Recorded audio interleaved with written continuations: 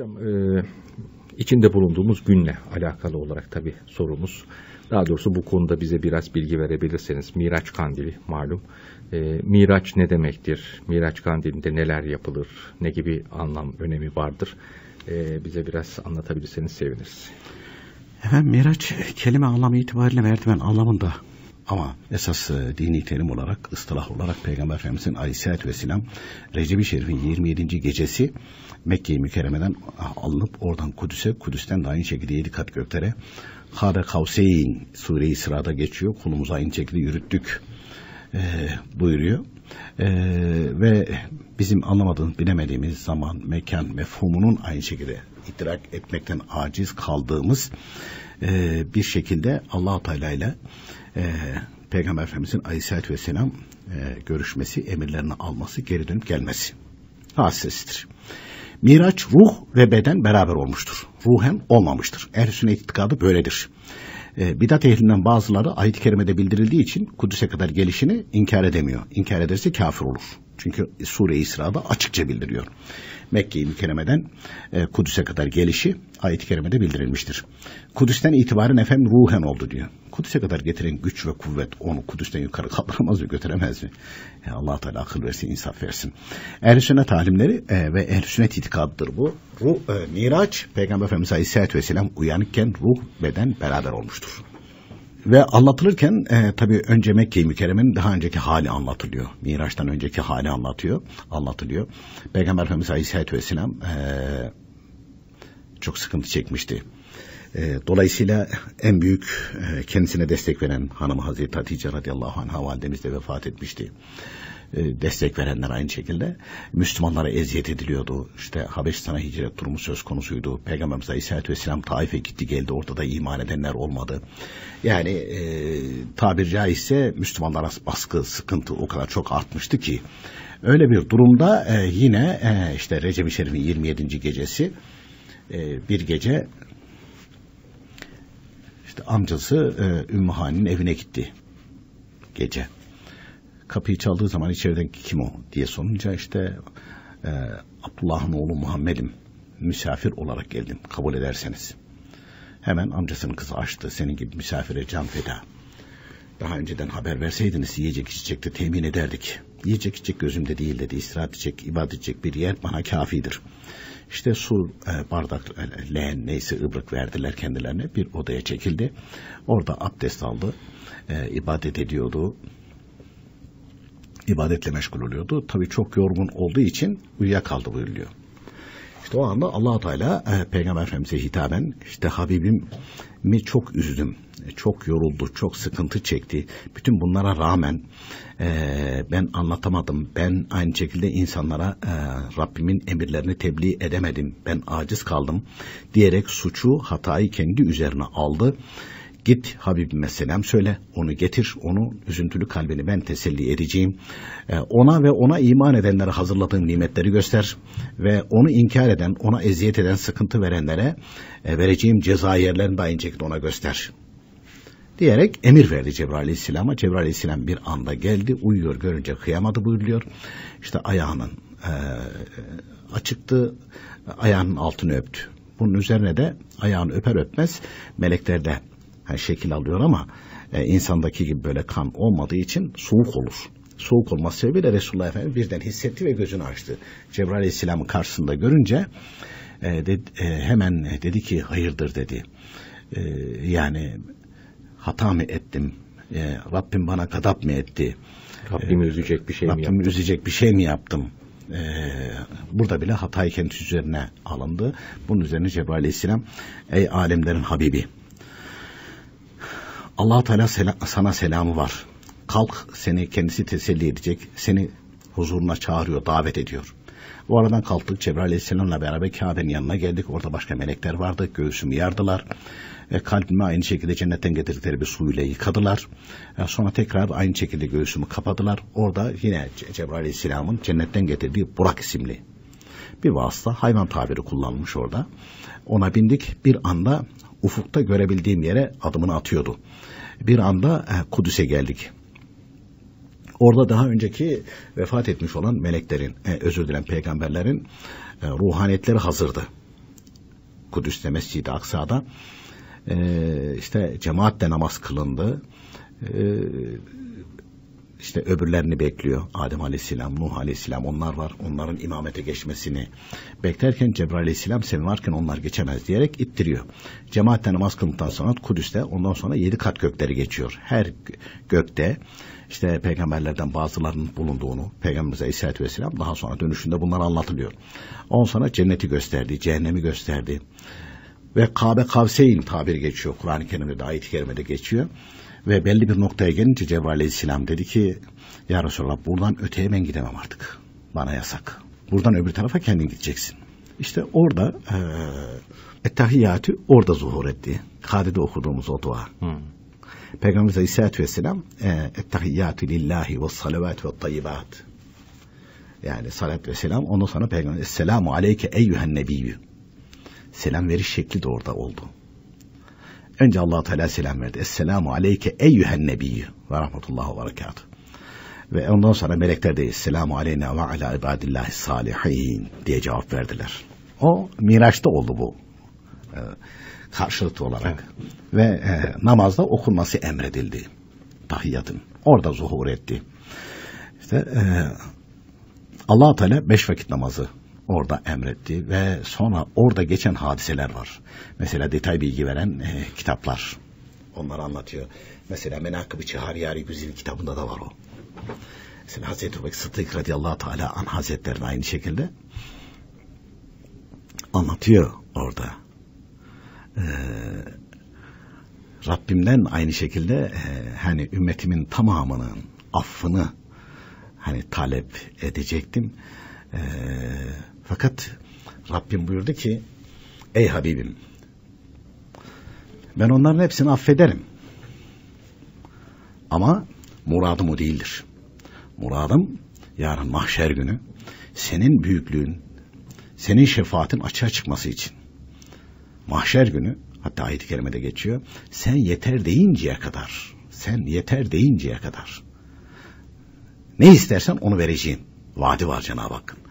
Ve ondan sonra Hazreti Bakır radıyallahu anh Hazreti Cebrail aleyhisselama hitaben de e, ümmetimden bir kişi bile cehennemde yani bırakmayacağım buyuruyor. Onların hepsini talep edeceğim Rabbimden. Ki mahşer günü o detay bilgiler verilirken sen mahşer günü e, talep edeceksin. Ben de affedeceğim. Böylece senin ümmetinden günahkarları affettikçe daha önceki gene 124 binden fazla peygamber bu kadar insan bunların hepsini görecek. Senin şanın derecen yükselecek. Benim de mağfiretim açığa çıkacak buyuruyor Cenab-ı Hak. Onun için talep etmedim. Hatta e, orada bazı hadiseler mesela detay bilgi veren kitaplarda 50 vakit olduğu, namazın 50 vakit olduğu, 50 vakit olarak bildirildiği, Musa Aleyhisselam'la karşılaştığı, Musa Aleyhisselam'ın Peygamber Efendimiz Aleyhisselatü Vesselam yani bunun çok ağır olduğunu, ümmetinin takat getiremeyebileceğini, bunu arz etmesini, yani azaltmasını ve Allah Teala arz edince bunlar beş vakitte indiği kitaplarda böyle detay bilgi veren kitaplarda bunlar da anlatılıyor. Bunlar da anlatılıyor. Beş vakit namaz, Miraç gecesi. Peki ondan önce sabah namazı, yatsı namazı. Peygamber Efendimiz Aleyhisselatü Vesselam yine kılıyordu. Çünkü kitaplarda anlatılırken Mustafa Bey deniyor ki Adem Aleyhisselam'dan itibaren Peygamber Efendimiz'e kadar Aleyhisselatü Vesselam gelen bütün ümmetlerin, bütün peygamberlerin şeriatında, dininde namaz vardı birer vakit. Kimisinde yatsı, kimisinde öğle, kimisinde akşam, kimisinde sabah, kimisinde ikindi. Bu şekilde emredilmişti. Bunların hepsinin kıldığı bu ümmete aynı şekilde emredilmiştir. Mesela meleklerin de yaptığı ibadetler var. Kimisi kıyamda, devamlı kıyamda duruyor. Kimisi rükuda, kimisi secdede, kimisi kadede duruyor. Bütün bunlar da toplandı. Hepsi bu ümmete ihsan edildi. Onun için bu ümmete ümmeti merhume denir merhametle muamele edilmiş. E, peki o zaman dilimi işte o da e, insanın zihni de şeyi de iflas ediyor zaman kavramını e, insanın aklı da almıyor, iza, e, evet. şey yapamıyor. Çünkü Resulullah sallallahu aleyhi ve sellem cehennem gösterildi, evet. cennet gösterildi, cehennemdeki azap şekillerini gösterdi. Sonra dönüşünde Resulullah Efendimiz bunların hepsini anlattı. Cehennemde işte gördüm şöyle şöyle azap edenler vardı. Cennette gördüm şöyle şöyle nimet içerisinde olanlar vardı. Bunlar kimlerdir? Cehennemdeki bu azap görenler kimlerdir? Diye hep sordum Cebrail aleyhisselama buyuruyor. Hep aynı şekilde sordum. Hatta Miraç gecesi yine Arş-ı Ala'yı ziyaret etti, gördü ve arş-ı alan, arş alayı insanlar e, Kabe'yi tavaf ettiği gibi melekler de arş-ı alayı tavaf ediyorlar. Orada Cebrail aleyhisselama sordum. Ya Cebrail karındaşım dikkat ettim e, bir tavaf eden meleğe ikinci bir sıra gelmiyor ikinci bir sıra gelmiyor. Bunun üzerine işte Cebrail Aleyhisselam buyuruyor ki ey Allah Teala Resulü ya Resulallah ben yaratıldığından beri işte 300 bin senem 400 bin senem neyse bu zamandan beri e, ben diyor dikkat ederim bir e, tavaf eden meleği beni ikinci defa görmedim orada. Uhu, meleklerin sayısını hani kimse bilemez. Allah Teala'dan başka kimse bilemez. O kadar çok melek var. E, cehennemdeki aynı azap şekillerini gördüğünü ve naklediyor. Cennetteki nimetler aynı şekilde görüyor, gösteriyor, görüyor. Ve e, onunla, e, allah Teala ile bizzat görüştü. allah Teala baş gözüyle gördü ve gerisin geri tekrar aynı şekilde döndü. Tekrar döndü. Tabi e, ne Ümmü Hani'nin bunda haberi var ne diğer evdeki bulunanların haberi var. Hiç kimsenin haberi yok. Sabah olunca e, dedi ki bu gece Rabbim beni miraca çıkardı. Yani ahirete götürüldü. Cenneti, cehennemi gördüm, Rabbimi gördüm. Gerisin geri tekrar getirildim. Yatağı soğumamıştı buyuruyor. Kudüs'e gittim. Oradan aynı şekilde ilikat göklere götürüldüm. onlar daha iman etmemişler. Dediler ki eğer sen bunu anlatırsan sana, sana iman etmek isteyenler aynı şekilde vazgeçer. Sana vazgeç, e, vazgeçerler. Aklın alacağı bir şey değil. Aklın alacağı bir şey değil. Ee, ve iman edenlerde bile tereddütler meydana gelir. Sen vazgeç bu işten. İşte o zaman Resulullah sallallahu aleyhi ve sellem buyuruyorlar ki sağlam başından sağlamdır. Çürük başından çürüktür. Sonradan değildir buyuruyor. Ve geldi Kabe-i Muazzama'ya e, müşriklere karşı bunu anlattı. İşte Kudüs'e gittiğini, oradan yedi kat göklere yükseltildiğini anlatınca müşrikler dedi ki olmaz. Mustafa Bey cali bir dikkattir. Onların içerisinde Müslüman da vardı. Ya güçleri yoktu, takatları yoktu. Hiçbirisi diyemedi ki ya Resulallah miracı mübarek olsun diyemediler. Müşteriler şöyle baktılar etraflarına ses seda çıkmıyor. Herkes aynı şekilde olmaz diyor itiraz ediyor. Tam dediler yani bu bunu söyledikten sonra bu iş bitti dediler yani. Bunun peygamberliği gitti aslında bir sildik süpürdük attık dediler yani. Kendi ayağıyla ha, düştü. Düştü. Dolayısıyla bunun dediler çok sadık bir adamı var. Bir tek o kaldı diyorlar. Hemen ona gidelim. Grup halinde gittiler. Kapısını çaldılar. Hazreti Ebu Bekir Radyalatın Hazretleri çıktı buyurun dedi. Dediler ki sen akıllı bir tüccarsın dediler. Kudüs'e gittin geldin. Evet diyor gittim geldim. Ne kadar zamanda gidilir gidilir e, gelinir Kudüs'e? E, Hazreti Bekir Radyalatın Hazretleri de iyi biliyorum diyor. 15 gün gidiş 15 gün geliş. Bir ay diyor. Tabi diyorlar ya akıllı adam böyle söyler zaten. Bravo diyorlar yaşa aferin sen de bizim kafadansın. Dolayısıyla bu da diyorlar aynı şekilde bizim safa geçti. Öyle düşünüyorlar. Ama diyorlar senin efendin senin efendin deyince Hazreti Bakır radıyallahu anh bizden diyor ki evet diyor benim efendim ne dedi? O diyor bir gecede gidip geldiğini söylüyor Kudüs'e. Onlar bir gece diyorlar. Gece değil bir anda bir gitti geldi. Hazreti Bekir radıyallahu anh hazretleri bunu duyar duymaz Resulullah Efendimiz'in ismi şerifi geçer geçmez o dediyse doğru söyledi buyuruyor.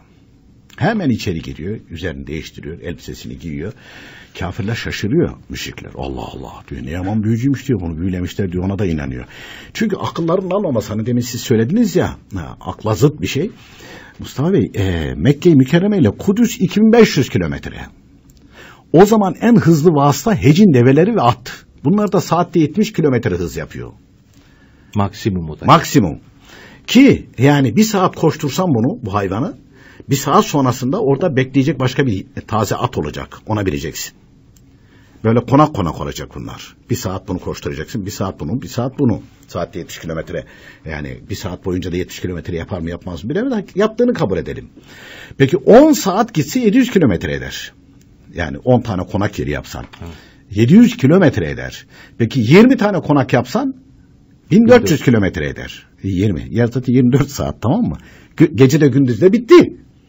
E, gece e, e, bir gecede gittiğini söyle. Olmaz diyorlar onun için. Bu ölçüye vuruyorlar. Bu diyorlar mümkün değil. Bu mümkün değil. İmkansız bir şey bu. Bu imkansız bir şey. Mümkün değil. Hadi diyelim ki gitti. Gitti. E, diyelim ki e, 70 kilometrede 10 saati e, 10 saat 20 saat e, diyelim ki 30 saatte gitti. Mümkün değil. Bir gece bir gündüz e, kapatamıyor işi. Bir de gelişi var bunun. Yani şöyle onların hesabına göre durmadan böyle koştursan yuvarlak hesap üç günde olması üç lazım bunun. Lazım. E bir gece olmaz diyorlar yani. Böyle şey olmaz. Tayyare de yok o zamanlar. Demir yolu da yok. Şey de yok. Olmaz diyorlar, inkar ediyorlar falan. Ve Hazreti Ebubekir radıyallahu anh hazretleri hala işte de Kabe'de Peygamberimiz aleyhissalatü vesselam hemen üstünü giyiyor. Daha uzaktan Resulullah Efendimiz'i görünce işte mübarek yüzünüzü görmek, mübarek sesinizi işitmekte de şereflene, e, şerefle, e, şereflenmekteyiz. allah Teala miracınızı mübarek olsun ya Resulallah. Anlat, inandım ya Resulallah dedi. Yüksek sesle, bomba gibi düştü bu ses. Müşrikler şaşkınlığa döndü. Müminler kendine geldi. Peygamberimiz Aleyhisselatü Vesselam'a böyle şey yapınca Resulullah Efendimiz'in gönlü ferahladı. Ee, bunun üzerine kafirler neye uğradığını şaşırdılar. O zaman dediler ki dur bakalım. Kudüs'e gittim diyor. Daha önce Peygamber Efendimiz'in Kudüs'e gittiğini e, bilen yok. Yani gitmedi. Kendileri de biliyorlar. O zaman diyorlar söyle bakalım. Mescid-i Aksa'nın kaç kapısı var, kaç penceresi var? Kuzeyde ne kadar, güneyde ne kadar, şeyde ne kadar? Resulullah Efendimiz Aleyhisselatü Vesselam buyuruyorlar ki ben bakmamıştım. Ama onlar sorunca Cebrail Aleyhisselam bana Mescid-i Aksa'yı şey gibi yani düğmeye basıyor ekranda gösteriyor. Televizyon. Ha televizyon gibi. Ondan sonra bana aynı şekilde gösteriyordu. Ben de sayıyordum cevap veriyordum. Baktılar dediler ki doğru bilgiler. Bilgi doğru. O zaman dediler yok başka bir alamet daha. Yolda gelirken buyurdu Resulullah Efendimiz Aleyhisselatü Vesselam bir kervan geliyordu. Hatta biz oradan hızlı geçtiğimiz için çünkü rüzgarın hızından da hızlı bir süratle. Develerden bazıları ürktü yükleri yığıldı e, pazartesi günü vuku bulmuştu bu hadise. Öyle tahmin ediyorum ki çarşamba gün buraya ulaşırlar. Beklediler çarşamba günü o kervan geldi. Sordular. Dediler ki böyle bir şey görmedik ama dediler çok böyle hızlı bir şey geçti. O anda develer ürktü, yükler de yığıldı. Resulullah Efendimiz yıkıldı. Resulullah Efendimizin Aleyhisselatü Vesselam buyurduğu şekilde tahakkuk etti. Fakat buna rağmen de yine kabul etmediler ve inanmadılar. Ehl-i sünnet alimler buyuruyorlar ki miraç akıl değil iman işidir. Akıl değil iman işi. Ve peki orada aynı şekilde zuhur eden bir sürat var. O sürat de bizim bildiğimiz bugün mesela e, ışık hızını biliyoruz biz. Saniyede 300 bin kilometre. Mesela güneş bize birinci kat semada 7-8 dakikada aynı şekilde ulaşıyor. 150 milyon kilometre uzaklıkta bu. Birinci kat sema değil, yedi kat semayı geçtim buyuruyor. E, dolayısıyla yedi kat semayı sadece şeyde söyleyiver. Güneşin ışığı bize 7-8 dakikada geliyor. Dolayısıyla e, o, o bizim bildiğimiz ışık hızının öbür tarafında meleklerin ve ruhun ve vehmin kullanmış olduğu bir sürat vardır buyuruyor. Mesela e, kitaplarda anlatılırken vehim için vehim 50 bin yıllık yolu bir anda gider gelir buyuruluyor. Ve insandaki hayal gücü de aynı şekilde. Mesela zaman zaman İslam ve Toplum programında biz şey yapıyoruz ya bir şey anlatırken birden hemen diyorum aa diyorum çocukluğumda hatırladım falan. Aha 60 sene gerisine gidiyorsun. Görüntüsüyle beraber geliyor. Görüntüsüyle beraber bir anda gidiyor ve geliyor. Ama o yılı sen geri getirmiyorsun. Ama onu hatırlıyorsun. Oradaki detayları bile hatırlayabiliyorsun. Dolayısıyla o ışık hızının dışında başka bir hızla. E peki Peygamber Efendimiz Aleyhisselatü Vesselam nasıl dayandı ona? Ha, Resulullah Efendimiz Aleyhisselatü Vesselam başından naklettik onu. Beni başka melekler vardı göğsümü yardılar ve aynı şekilde e, ameliyat ettiler buyuruyor. Ve Enes Malik radıyallahu teala hazretleri 10 sene Resulullah Efendimiz'e hizmet etmişti. Dolayısıyla e, bir gün buyuruyorlar gömleğini değiştirirken Resulullah Efendimiz yanındaydım. Bu göğsündeki o şeyi gördüm buyuruyorlar. O izi gördüm. Yara izi. Evet yara izini aynı şekilde gördüm buyuruyorlar. Dolayısıyla Miraç e, akıl değil iman işi. Akıl değil iman işi ve mübarek bir gecedir. Pe Peygamber Efendimizin Aleyhisselatü Vesselam yedi kat göklere yükseltildiği, cenneti baş gözüyle gördüğü, cehennemi baş gözüyle gördüğü ve allah Teala'yı baş gözüyle görüp gerisin geri tekrar yani ahirete götürüldü tekrar gerisin geri dünyaya getirildiği bir gecedir. Böyle bir gecenin hatırı ve hürmetine kaza namazı kılmak, Kur'an-ı Kerim okumak, geçmişlerimizi hatırlamak, önce Peygamber Efendimizin aleyhissalatü vesselam ruhuna aynı şekilde hediye etmek ve bu hadiseleri okumak sevgiyi, muhabbeti arttırır sevgi muhabbeti arttırır ve bu sevgi muhabbet de son nefeste imanla gitmemize sebep olur, vesile olur. Onun için başta büyüklerimiz olmak üzere bizi dinleme zahmetinde bulunan bütün dinleyicilerimizin Miraç kandillerini tebrik ederiz. Rabbim bu geceler sebebiyle ha, e, hakkımızda hayırlı olanları ihsan eylesin. Çoluğumuzu, çocuğumuzu, bizleri hepimizi ahir zaman fitnesinden muhafaza buyursun. Dileğinde bulunuyoruz. Biz dua ediyoruz. Duamız kabul olduğu öyle bir iddiamız söz konusu değil ama kıyaben yapılan dua mümini mümine yapması lazım. Kabule yakındır, makrundur ifadesi geçiyor. Biz e, dua ediyoruz. Dinleyicilerimizden de dua bekliyoruz. Peki efendim. Çok teşekkür ediyoruz vermiş olduğunuz bilgiler.